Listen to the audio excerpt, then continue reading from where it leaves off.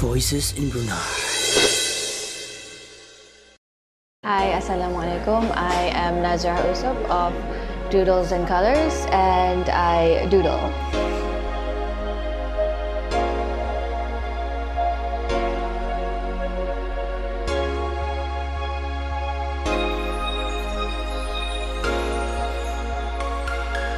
I've been doing since I was 18, so it's been more than a decade now. And I've realized that it's been more than a hobby since people wanting for me to draw for them in exhibitions here and there. So I'm, from there, I thought, this is what I want to do full time. So it's more than that.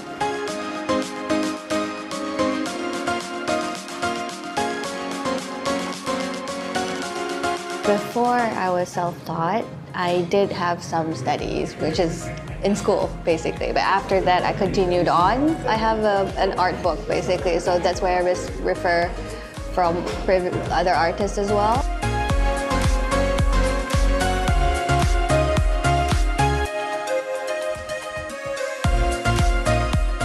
I have been exhibiting most of my works lately, currently this year.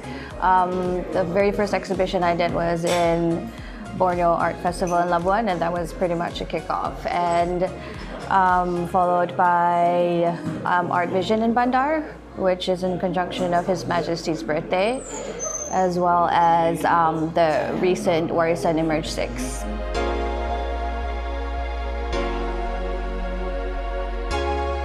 Um, at the moment, uh, I have a 37 feet long scroll. It's on a fax paper. I've been drawing on it for about four years now. So that's currently exhibiting in um, Creative Space.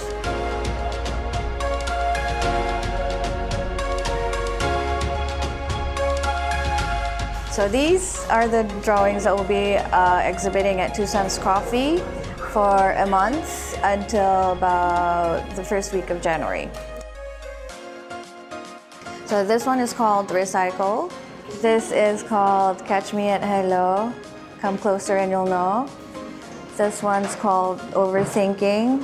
This one's called Windows. And the other one's called Matrix. My advice for anyone who wants to pursue their hobby is, and if it's their passion, then just go for it.